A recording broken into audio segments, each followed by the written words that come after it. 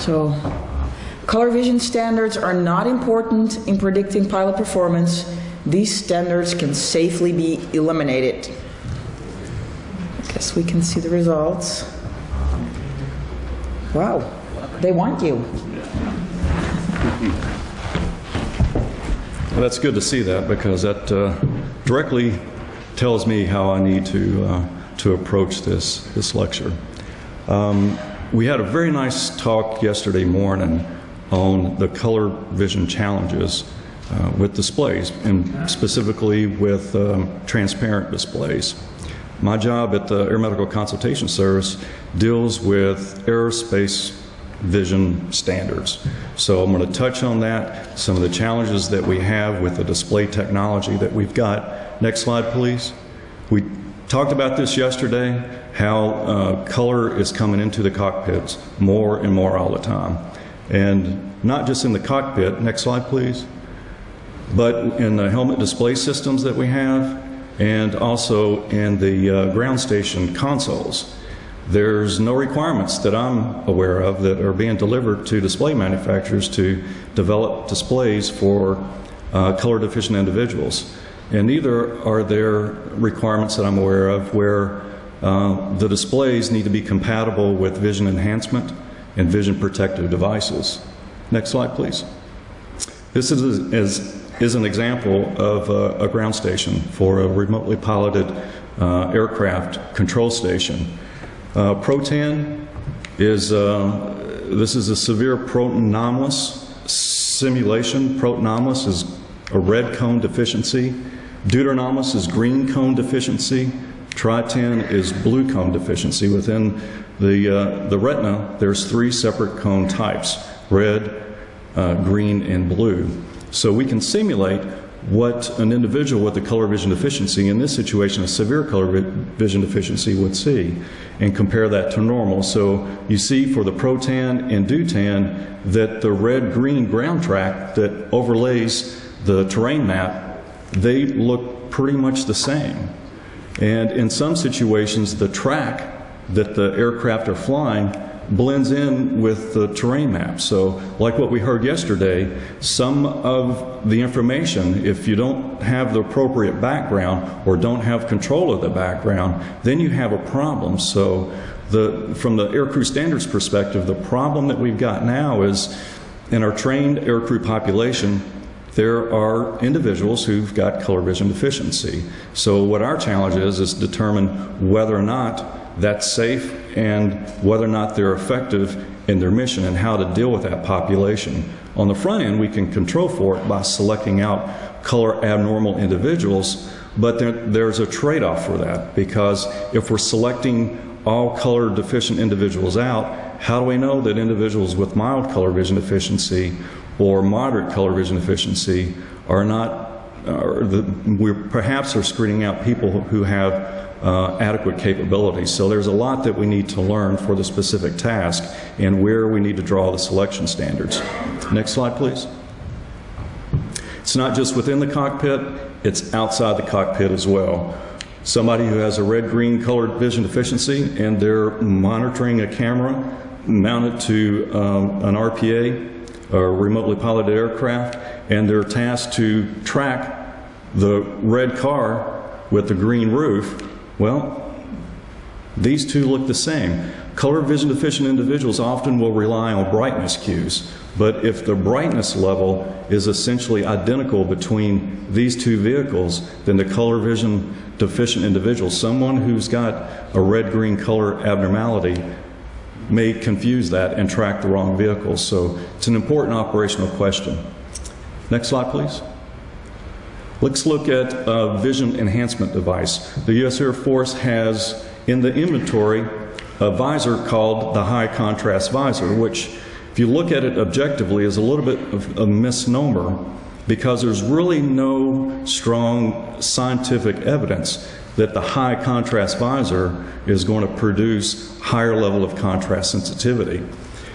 Where this is most beneficial is in uh, air-to-air type operations where you have a blue background, a blue sky, you're filtering out the blue light with this filter, so that might make it easier to acquire a target against that blue background. However, if you go inside the aircraft and look at the displays, white symbology can become yellow with this visor, blue symbology can become green. Next, please. Next.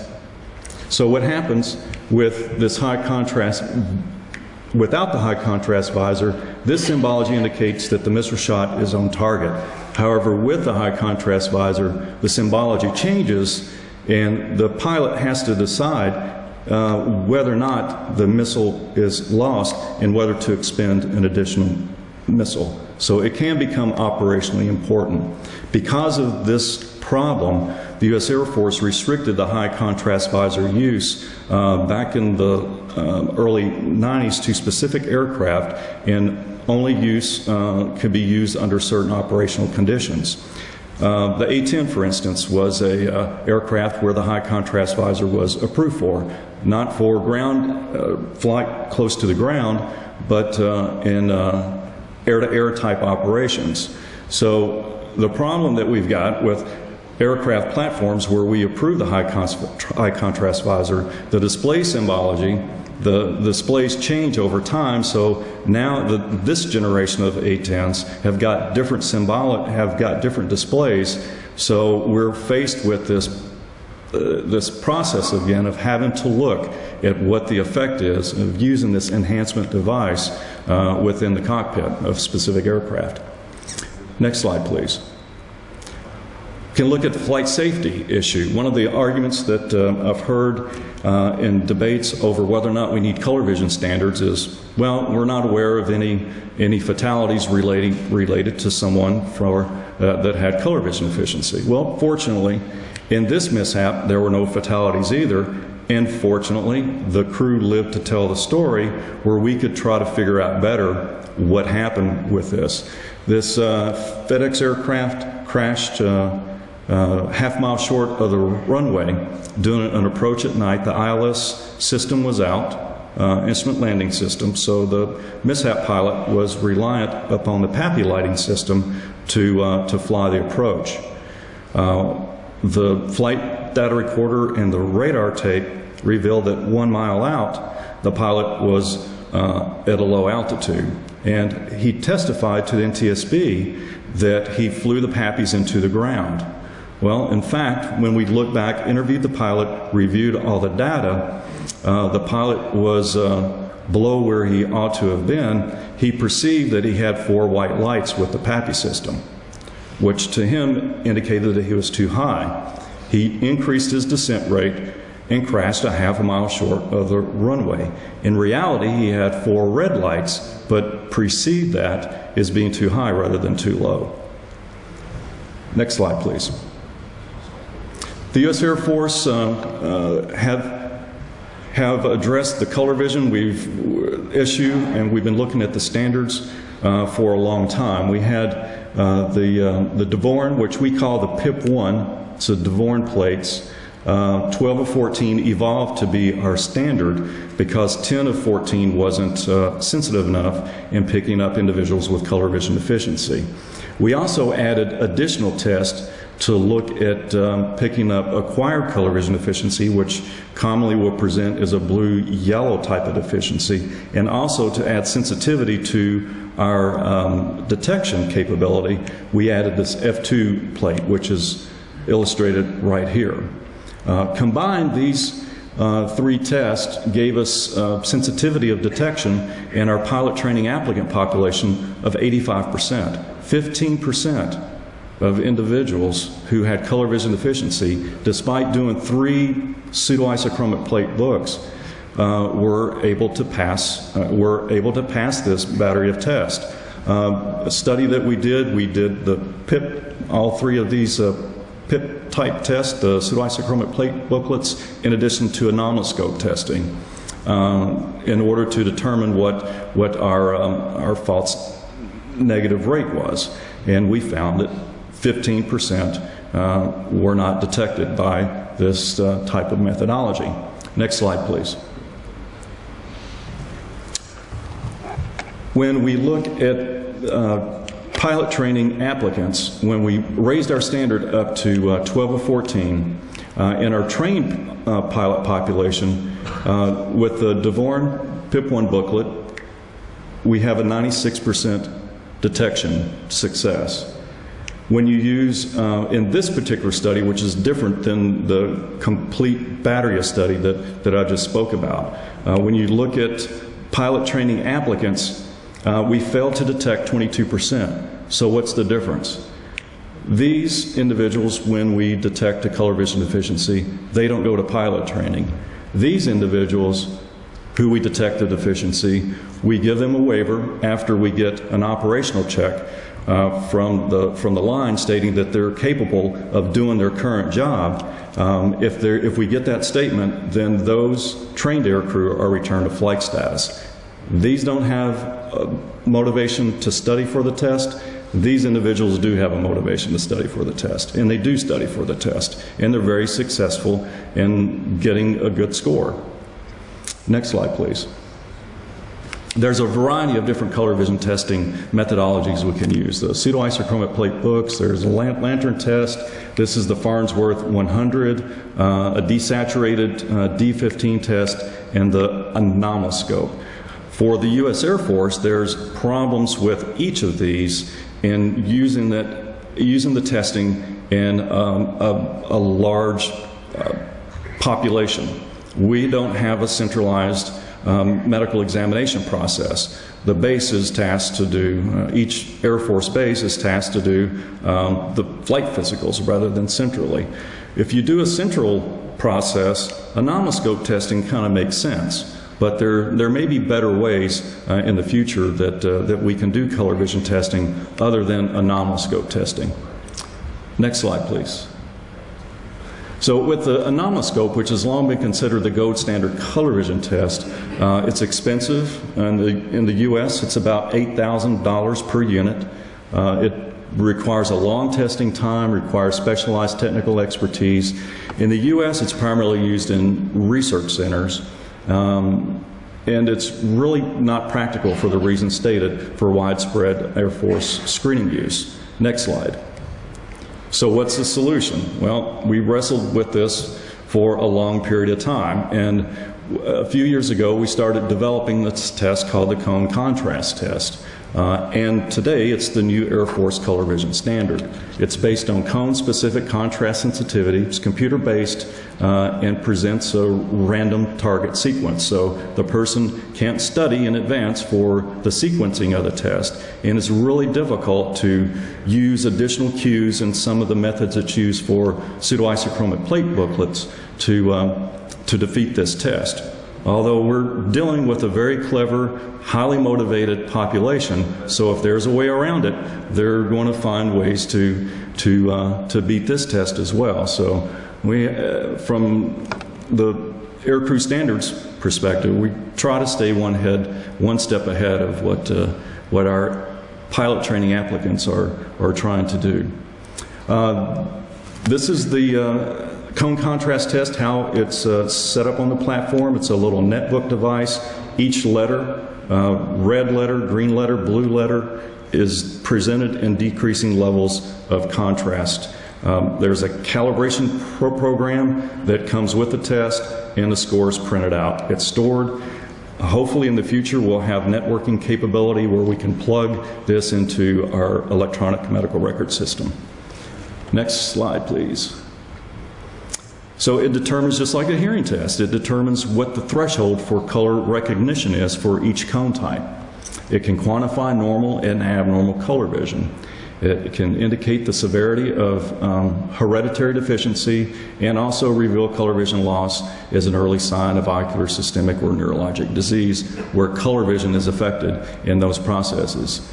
And Importantly, for the operational correlation studies, we get a quantitative linear score out of it that, can, uh, that we can use to determine who, what task can be uh, adequately performed uh, when we design experiments to correlate color vision testing capability to operational performance.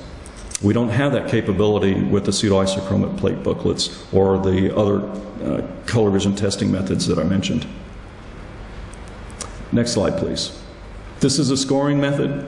Uh, From the psychological standpoint, I particularly like this one. Our air crew like to feel good about themselves, so we want to reward them for good performance. So we have a super normal vision to uh, uh, category if they get 95 to 100. So we can um, quantify normal performance as well as abnormal performance and then correlate that in the future to operational task performance.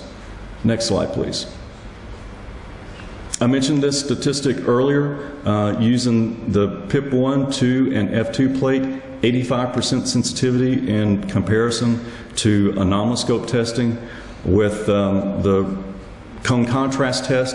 In the study that we did comparison to the Nagel anomaloscope uh, with data obtained from the original cone contrast test software that was developed at the School of Aerospace medicine under optimal testing conditions, we got 100% correlation between uh, the cone contrast test and the anomaloscope. Uh, now the cone contrast test is on a commercial device. It's being used in um, different locations. The testing methodology uh, might vary from optimal, so I don't expect this to be a universally applicable standard. But it's, if it's done correctly, and the calibration, everything is done correctly, we can achieve the same level of sensitivity as we achieve with the uh, anomaloscope. Next, please. I, if you were here on Monday, I talked about this test. Uh, it's a uh, target sorting task that uh, an experiment that we're doing with operationally based vision assessment pro- program. Uh, with this task, the um, uh, subject is asked to determine when the enemy aircraft, the red enemy aircraft, is in the kill zone. So this simulates what a, deuter, uh, a deuteranope would see. The red and green targets uh, look the same. So you'd expect uh, somebody with a severe color vision deficiency to uh, make more errors and take longer to respond to, to the uh, presentations. Next slide, please.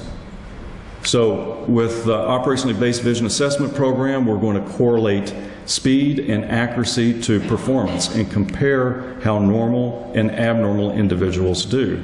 Now, some people naturally will trade uh, time for accuracy. It'll take them longer to respond in order to get a higher score. So there's a way statistically to normalize that data. Next slide, please.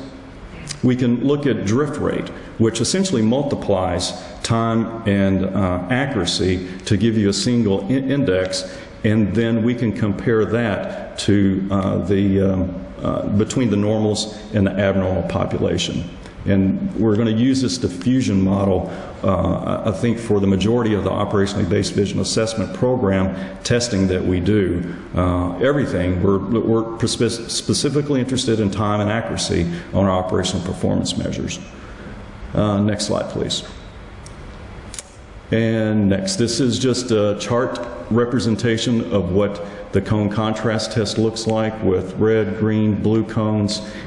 In the automated version, uh, uh, individual randomized sequence of letters is presented, and then a score comes. And next slide, please. And then we can correlate uh, deficiency in this situation, green cone, green cone score, to drift rate, drift rate performance. Next, please.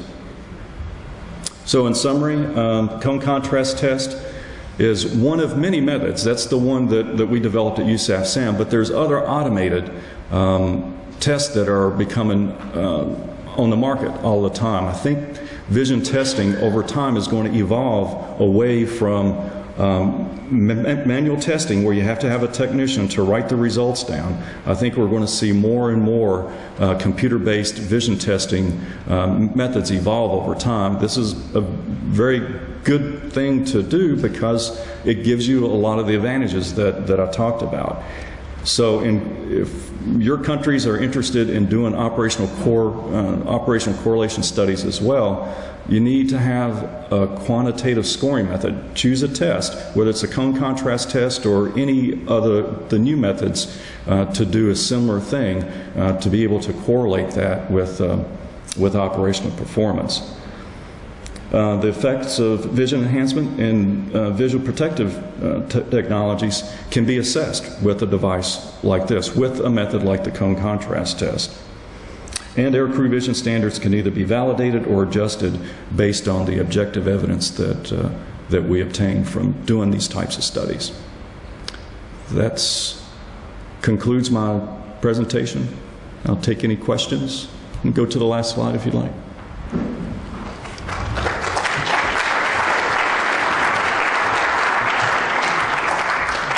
Okay, there's probably not going to be a surprise there, but let's see if uh, you're voting the same thing as you did before.